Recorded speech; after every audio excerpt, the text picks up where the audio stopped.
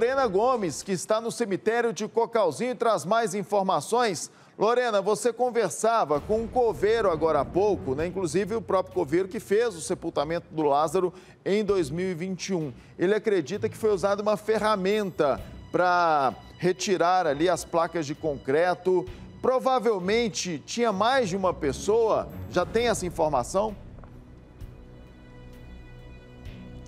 Olha, Marcelo, só para vocês terem uma ideia, né? O Adiel Fábio está mostrando aí a estrutura quebrada, né? Era essa placa de concreto aí, que é semelhante àquela outra que está ali do lado, né? É, eu vou perguntar aqui ao Fábio, então, essa sua pergunta, Marcelo. Fábio, o Marcelo no estúdio pergunta se vocês acham que de repente pode ter sido mais de uma pessoa, que apenas uma pessoa conseguiria quebrar essa parede aí de concreto. Bom, a gente não tem essa informação, né? É verídica, porque a gente não estava presente, então mas segundo a experiência da gente, provavelmente seria uma ou duas pessoas. Uma né? pessoa consegue, né? Consegue. Tendo uma ferramenta, provavelmente sim. Agora, Marcelo, sabe o que é interessante aqui desse cemitério? O túmulo do Lázaro, a gente sabe, o Lázaro teve repercussão internacional a caçada a ele, né? Foi uma maior caçada aí dos últimos tempos a um criminoso, né? Amedrontou muita gente aqui em Cocalzinho e nas cidades vizinhas.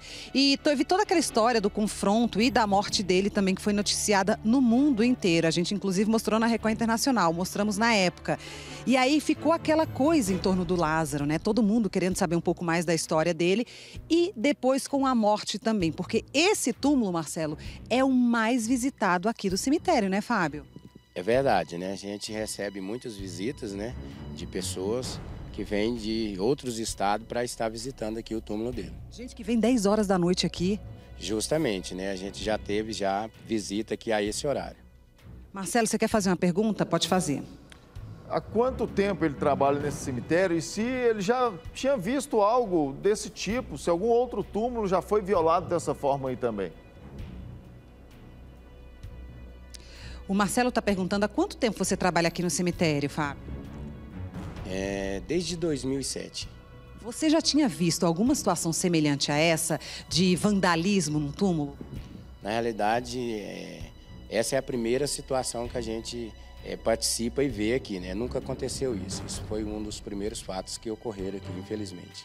Eles até querem salientar isso, Marcela, a primeira vez que acontece isso, mesmo com essa curiosidade toda em torno aí do Lázaro, o túmulo dele nunca tinha sido violado ou danificado ou qualquer coisa parecida. Aconteciam visitas, mas isso é a primeira vez e deixou eles até impressionados e por isso a polícia está investigando para saber quem é que teria feito isso. Inclusive, pessoas estão sendo ouvidas porque a polícia quer descobrir quem é que fez isso no túmulo do Lázaro, Marcelo. É um criminoso que aterrorizou Goiás, matou pessoas, destruiu famílias.